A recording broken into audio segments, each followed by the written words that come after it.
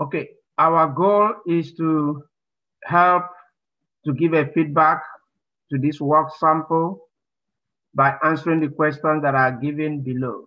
So the expression is a trigonometric uh, function, uh, which is written in terms of x. And we're expected to answer question A, which says use the power reducing formulas to write the function in terms of cosine to the first power. Show all steps and justify your reasoning. And the second question says determine another way to rewrite the original function and show why they are equivalent. And then the third one says rewrite the original function as a perfect square trinomial by adding a term to it and rewrite the function as a perfect square trinomial. Show all steps. So um, the first thing we need to do um, is to um, write our solution and then we write down the function that is given to us, which is um, f of x is equal to sine raised to power 4x plus cos raised to power 4x.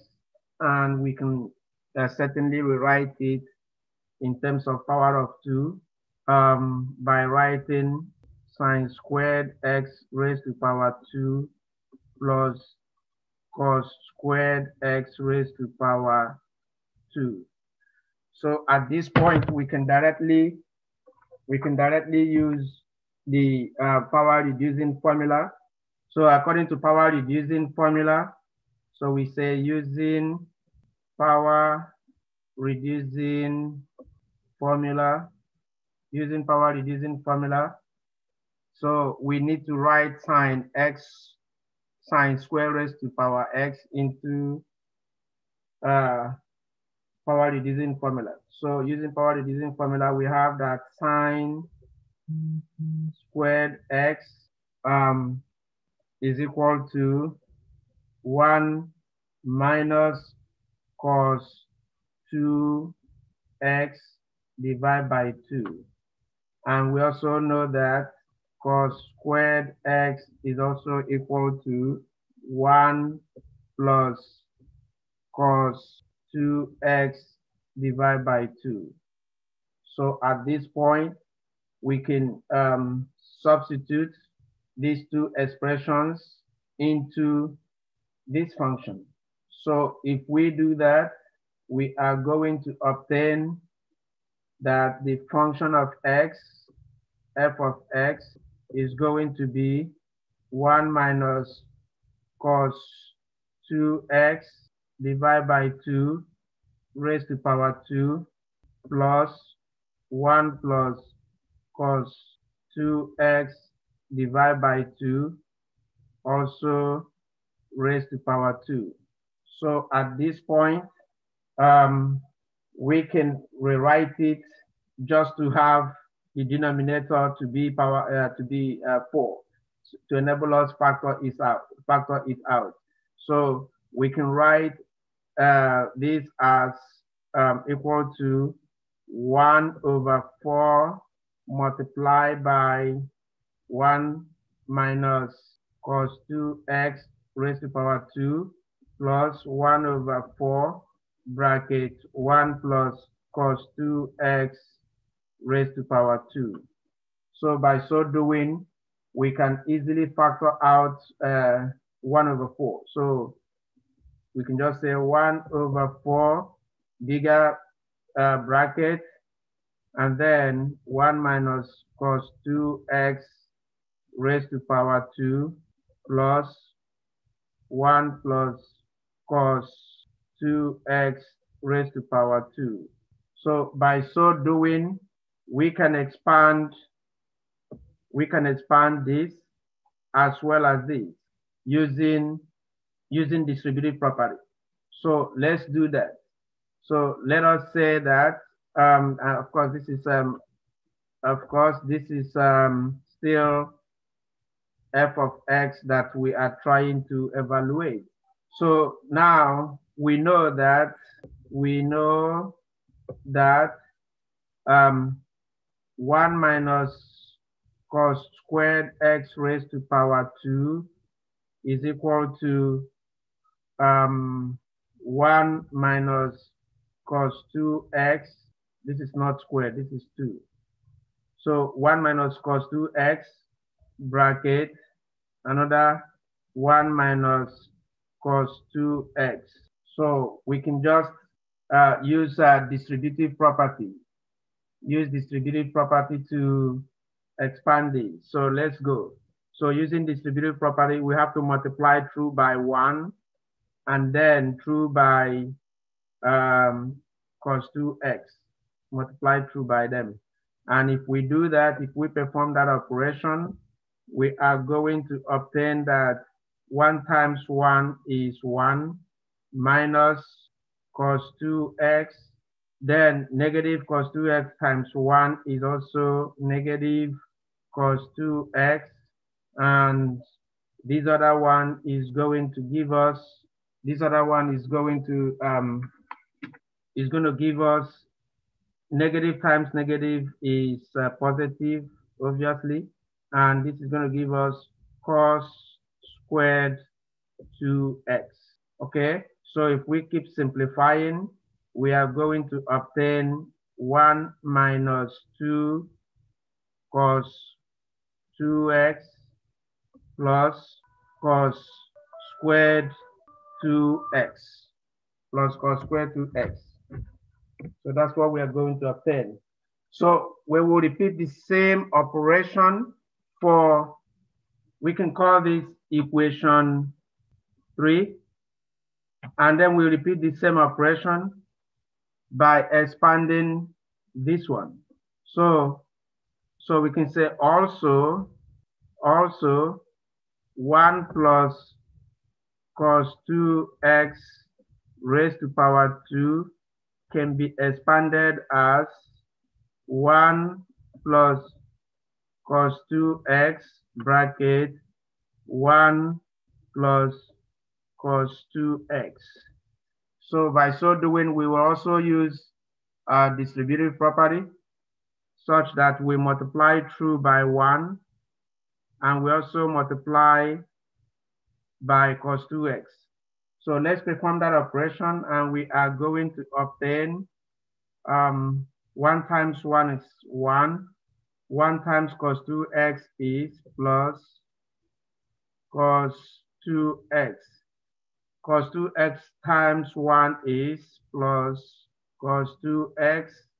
Cos 2x times cos 2x will give us cos, um, cos squared 2x.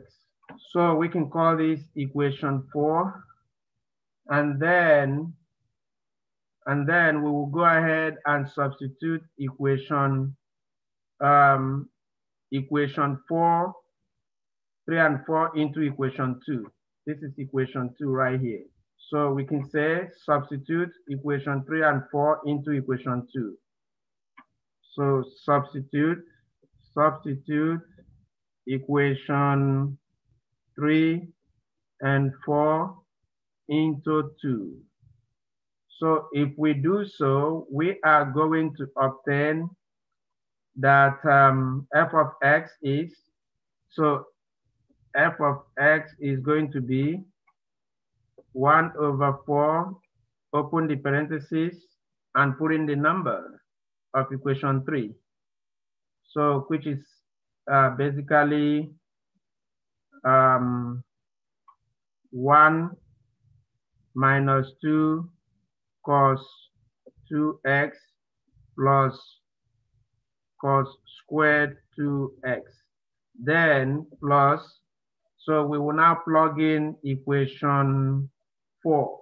Equation 4 is going to give us 1 plus 2x, no, not 2x, 1 plus 2 uh, cos squared 2x, then also plus cos squared 2x.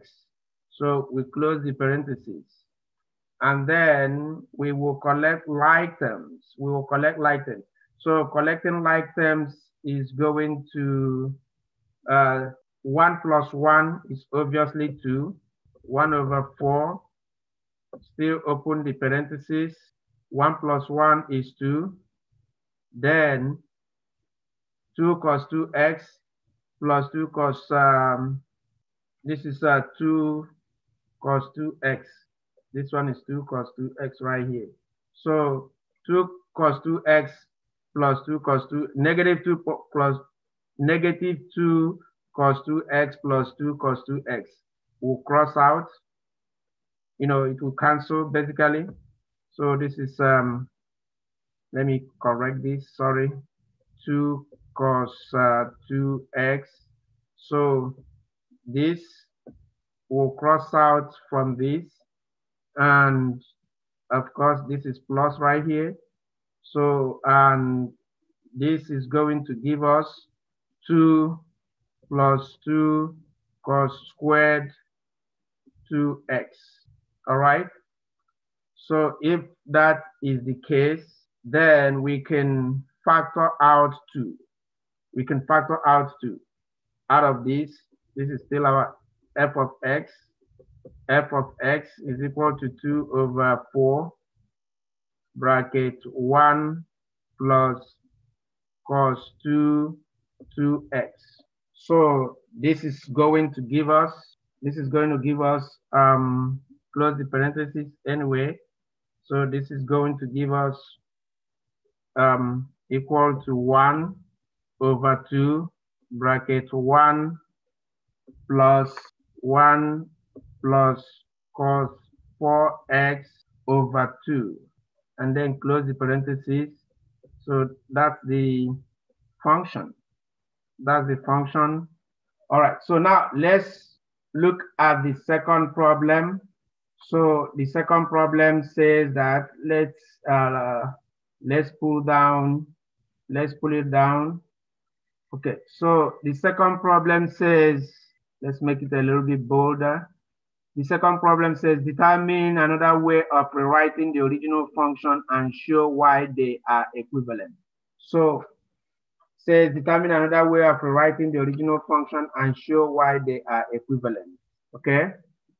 So now the um B, the original function can be rewritten just by focusing on either sine raised to power 4x or we focus on cos raised to power 4x, okay? So, but let's try and focus on sine raised to power 4x and just use it to rewrite the expression. So we can say if this is the original function, if this is the original function, f of x is equal to sine raised to power 4x plus cos raised to power 4x. So we can just focus on on this and by writing the following sine raised to power 4x is also equivalent to saying that sine squared um, x raised to power 2. And then we will use the same power of uh, um, power reducing formula to rewrite sine square x. So if we do that, we are going to get that 1 minus cos 2x divided by 2 raised to power 2. So we're going to get that. Okay, so the general function still remains. You can call it equation 1. Now, we will just keep, we will just keep um, evaluating this sine um, raised to power 4x. So how do we do that? So we can use um, we can rewrite this by saying it is equivalent to 1 minus cos 2x, then 1 minus cos 2x, all divided by 2, divided by 2. So by so doing, we can just factor out um, 2 times 2 is 4. So we can just factor out 1 over 4. So we just write 1 over 4 bracket. Then we perform the distributive function inside, uh, which will give us 1 times 1 is 1. 1 times cos 2x is negative cos 2x. Um, negative times uh, negative cos 2x times 1 will give us another negative cos 2x. Negative times negative will give us positive, well, positive. Cos 2x times cos 2x will give us cos squared 2x. And then we just continue to simplify uh, the inside and that is going to give us, that's going to give us 1 over 4 bracket 1 uh, uh, minus 2 um, cos 2x plus cos squared 2x. So that's going to essentially be, that's going to be essentially be um, sine 4 raised to power x.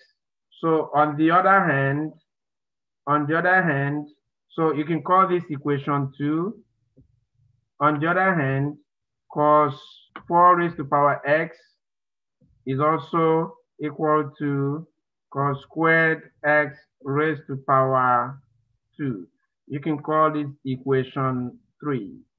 So now if we substitute equation 3 into equation 2, if we substitute equation 3 into equation 2, um, so let's just write it down.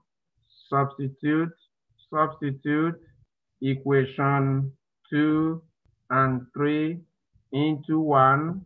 So into 1, then we obtain uh, that our f of x is equal to, uh, f of x is equal to 1 over 4 bracket 1 minus 2 cos 2x plus cos squared 2x, then plus cos squared x raised to power 2.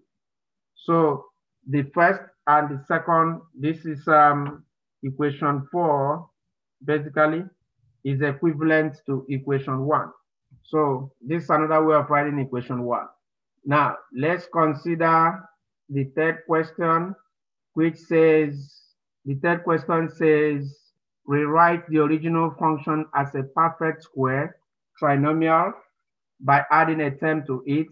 So to write the function as a perfect square. So if we have to write as a perfect square, so let us generally, so this is C. So let us generally um, write an expression for a perfect square.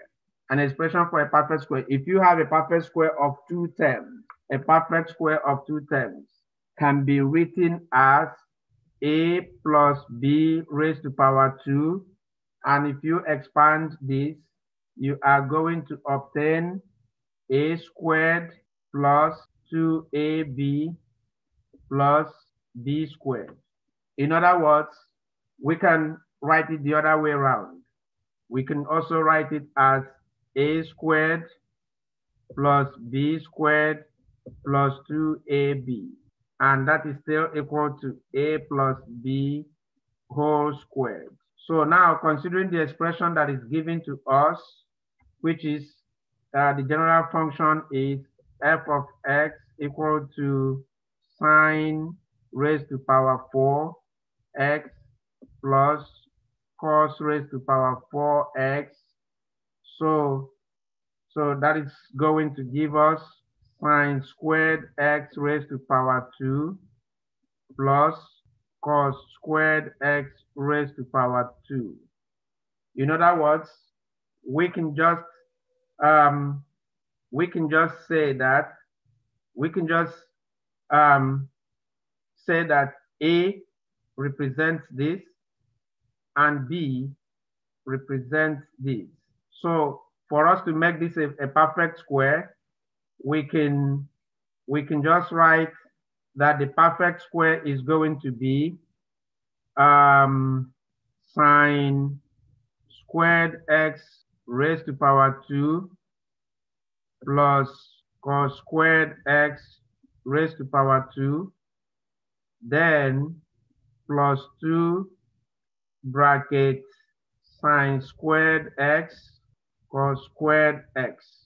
And that is a perfect square that represents a perfect square that represents sine squared x plus cos squared x raised to power 2.